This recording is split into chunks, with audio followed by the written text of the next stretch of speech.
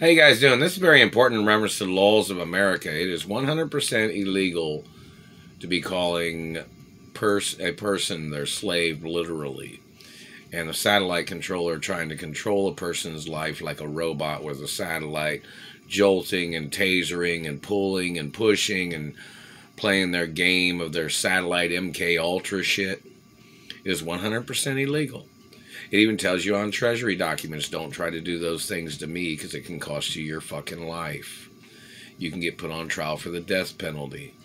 This satellite man is trying to call me his slave. He just did it again about two minutes ago or a minute ago. The government man needs to get prosecuted. It's illegal for government to be supporting the activities of a man calling people in America their slaves.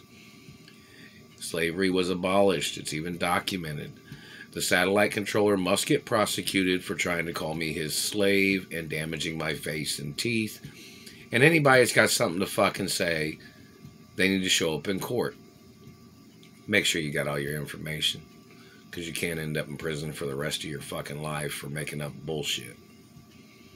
You understand that? You people have tried to murder me and tried to steal my royal land in America. My land. It belongs to me and my mother and father and grandparents' estates. I am the owner. I'm not going to play nobody's tricks. I'm not their child, whoever these government people are. They damaged my teeth. They did all this shit calling my teeth fake. We need to see the credentials of the American Dentist Association of these satellite controllers when they had claimed that they had dentist credentials and they tried to call my teeth fake. My teeth have been real my whole life. This man is still burning my face and teeth, and his conspirators in the satellite control rooms are still burning my teeth right now. And it's 629 Sunday, April 9th, 2023. Anybody trying to misrepresent the situation can be prosecuted.